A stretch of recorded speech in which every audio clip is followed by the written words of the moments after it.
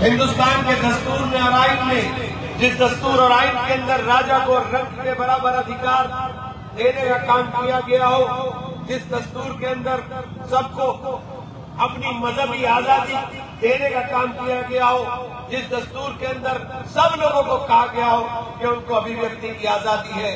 लेकिन आज अगर इस माहौल के अंदर हम देखने का काम करते हैं तो इस दस्तूर और इस आइन के ऊपर सबसे ज़्यादा संकट के बादल है। इसके ऊपर सबसे ज़्यादा संकट के बादल कभी इसको क्या हुआ भाई? क्या हुआ इसमें? चला गया। सबसे ज़्यादा संकट के बादल इस दस्तूर और आइन के ऊपर है। मैं आप लोगों से कहना चाहता हूँ कि इसकी हिफाजत करने की ज़िम्मेदारी हमारी और आपकी है कि हम लोग इसकी हिफाजत करने का काम करें और मैंने पहली मरतबा क्योंकि पैंतीस साल से लगातार मैं भी ये देखने का काम कर रहा हूँ। आज पहली मरतबा ये महसूस हुआ कि जो लोग राष्ट्रवाद की बात कर करके, घरों पर पिछले साल झंडे लगा करके लोगों को राष्ट्रवाद का पाठ पढ़ाने का काम कर रहे थे, आज पूरे शहर के अंदर देख लीजिए कि कहीं तिरंगा दिखाई देने का काम नहीं कर रहा है। कहीं तिरंगा फैलने का काम नहीं कर रहा है कि किसी जगह तिरंगा फैल रहा हो, कहा गया वो राष्ट्रवाद? राष्ट्रवाद के नाम पर आप लोगों के बीच में नफरतों की दीवार खड़ी करने वाले लोग आज एक ही घंटा पूरे शहर के अंदर फैलता हुआ नज़र आ रहा है, जिसके अंदर तिरंगा कहीं दिखाई नहीं दिया है, साथ नगर निगम हमेशा तिरंगे बंटवाने का काम करता था, इस मरतबा तिरंगा भी घाटा नहीं किया हम बार बार इसलिए कहते कि आज अगर ज़रूरत है इस बात की, कि आप लोग, ये जो खास तौर से चुनाव का साल है इस साल के अंदर अगर मजबूती के साथ आपने खड़े होने का काम नहीं किया, अपने आप को मज़बूत नहीं किया तो साथियों, इस दस्तूर और आइन के अंदर आपके अधिकारों को खत्म करने की साजिश और तैयारी ये सरकारें करने का काम कर रही है, सरकार। वोट बनवाने के लिए आपको नेताओं की ज़रूरत होती है। अपने कागज़ ठीक कराने के लिए नेताओं की ज़रूरत होती है। ये नेताओं की ज़िम्मेदारी नहीं है कि आपको पार्षद ढूंढना पड़े, आपको कोई दूसरा नेता ढूंढना पड़े। ये ज़िम्मेदारी आपकी अपनी है। सीए एनआरसी के नाम पर कब आपको बांग्लादेश का बता दिया जाए, कब आपको बर्मा का बता दिया जाए, ये पता चलने वाला नहीं है। इसलिए ज़रूरी है कि अपनी वोट अपनी वोट बनवाने अपने कागज़ को तमाम को दुरुस्त कराकर रख ले साथी।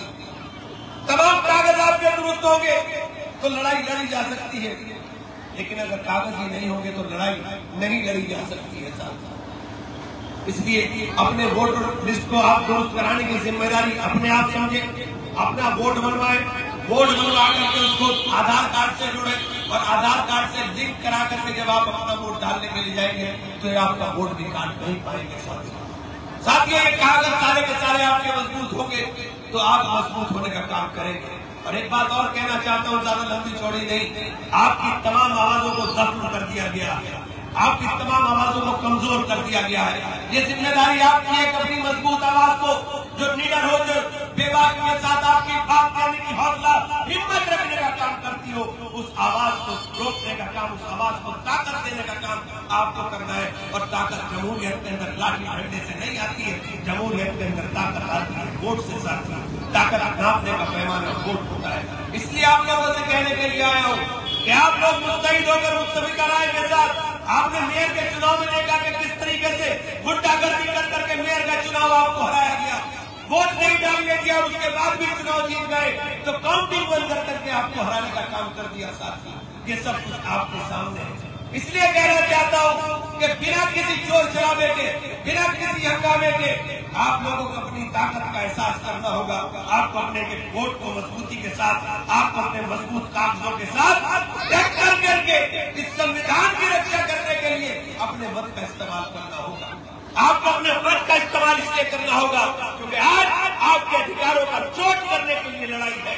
आज ये लड़ाई इस बात के लिए नहीं है कि कौन चुनाव जीतेगा कौन चुनाव हारेगा आज हिंदुस्तान के अंदर अगर कोई इन फांसीवादी ताकतों के खिलाफ बोलने की हिम्मत और ज़रूरत करता है, उसका नाम राहुल गांधी है, कोई दूसरा नहीं है। राहुल गांधी को मंदिर में नहीं जाने दिया जाता।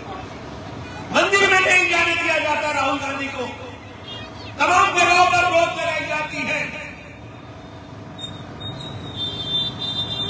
इसलिए रोक लगा रहे हैं क्योंकि डर लग रहा है राहुल गांधी सच बोल रहा है। गरीबी पर बात करो तो बात नहीं करेंगे। महँगाई पे बात करो, बात नहीं करेंगे। बेरोजगारी पर बात करो तो बात नहीं करेंगे। आज का एक ही गारंटी चल रही है। और उस गारंटी का नाम आपको पता है, क्या गारंटी चल रही है। पहली गारंटी पूरी कर दी होगी जो आगे का वादा। ये सपनों के सौदागर है।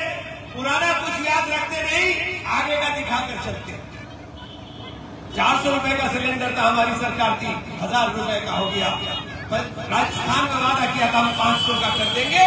सरकार बनी और वादा खत्म। कोई पाँच सौ का सिलेंडर नहीं होगा साथ मेरी बात इसलिए, याद दिला रहा हूँ कि इनको याद रखने की ज़रूरत है। आपको मुतफिका राय के साथ अपनी मज़बूत आवाज़ को ज़िंदा रखने की ज़रूरत है। और इस और इस हालात के अंदर अगर आपकी मज़बूत आवाज़ ज़िंदा रहेगी साथियों, तभी साथियों कुछ हो पाएगा। इस उम्मीद के साथ कि मेरी बात को गहराई के साथ समझने का काम करेंगे। किसी दिन जलसा होगा, उसमें बात करूँगा। बहुत बहुत शुक्रिया। जय हिंद!